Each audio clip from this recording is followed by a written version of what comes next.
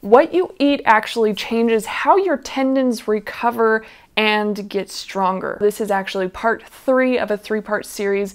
I did an interview with Eric Hörst and it was fantastic. Way too much information to cut down. I had to split it into three different videos.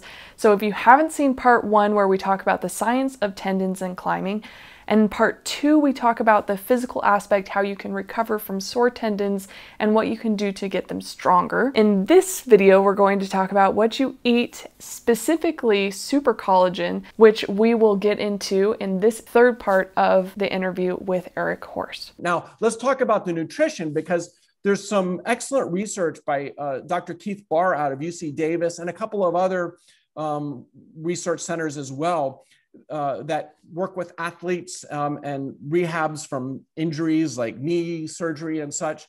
Uh, and they've experimented in the lab and with athlete case studies with certain nutritional interventions that can support the recovery. Like with muscles, we know very well, it's widely accepted that uh, consuming um, protein that's high in the branch chain amino acids uh, is excellent for muscle recovery. And so you do a hard weightlifting workout or climbing workout, and then you drink a whey protein shake afterwards or before bed that night. That's excellent for muscle recovery because those uh, branched chain amino acids are what really propel the recovery of the contractile fibers in the muscles. Well, connective tissues, they're made of protein as well, but they're made of um, two thirds of, of the, the collagen in our tendons and ligaments is two amino acids, glycine and proline. And whey protein is actually very low in those two amino acids. Uh, and so it's important for, and this is TMI for a lot of people, but you know, um, the amino acids that comprise protein in our foods, uh, the individual amino acids are in different proportions in different foods. And so whey protein's high in those branched chain amino acids, great for muscle recovery. But the glycine and the proline, the two amino acids that comprise much of our connective tissues, is in very low amounts in a lot of foods. Um, plant-based foods and even you know milk-based products aren't so high in those amino acids, glycine and proline, but meat is. Well, a lot of climbers don't eat a lot of meat. I, I don't eat a lot of meat, just a few pieces per week. Um, the, the richest food, like normal food, uh, in terms of glycine, is pork. Uh, so if a climber ate three servings of pork every day, that would be a really good thing for their connective tissues. But who's going to do that? Um, you know, that's not realistic. Mm-hmm. Well, something like this, um, this is supercharged collagen by Physivantage, is hydrolyzed collagen. This is literally the richest in terms of foods that have those two amino acids that comprise uh, ligaments and tendons. This is the richest food on the planet, literally, even better than pork. Um, and you just put a scoop of it into water or juice um, or any other beverage and consume it, and you get this.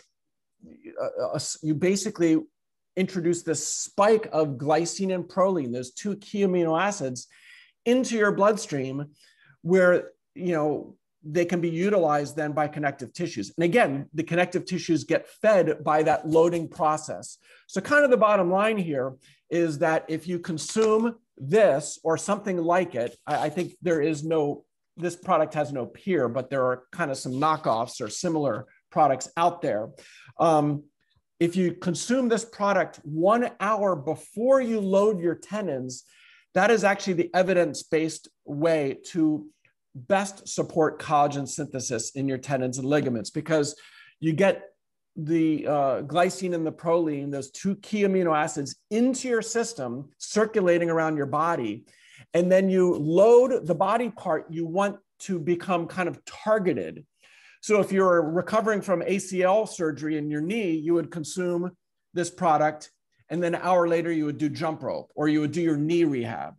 Or in the case of a finger injury, a sore finger, or just a healthy climber that wants to be really proactive, which is what I do, and thousands of other people do, is they, they consume this an hour before they go to the climbing gym or they put it into a shaker bottle and drink it during their warm up at the climbing gym or at the crag so that they get that spike of those amino acids into their bloodstream as they begin to climb. And there you kind of meet that goal of coupling the nutrition and the loading together which has been shown to give optimal results. People want to learn more if they go to physivantage.com, and perhaps you can put a link to this somewhere. Uh, physivantage.com is actually my company that I founded three years ago. It was founded basically so that I could produce this product for climbers. I kind of did the research over the last five years and um, began to use it myself and my family of climbers and my uh, um, clients, my training clients. Uh, and I was kind of, you know, making this stuff on my own for their benefit. And then I thought, you know, you know, this works not only in the lab, but it works in real life, in real practice, uh, as we experienced. And then so I founded a company so I could mass produce the product and make it available to climbers around around the world.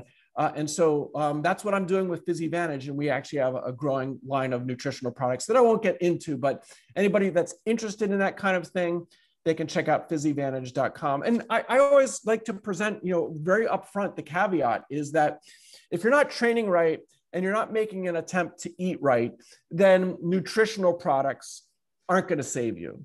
You know, this is not a, uh, a magic bullet that makes up for bad training and bad diet practices. It's not. It's a waste of money in those situations, to be honest. But to someone who's really trying to do their best to train properly um, and trying, you know, to have a, a an excellent diet, you know, that is well-rounded, whether it's you know plant-based or not, doesn't really matter. You can put together a very healthy diet, but in doing that, you can then you know even make things better with some supplemental products like the supercharged collagen before you train and a good whey protein maybe before bed.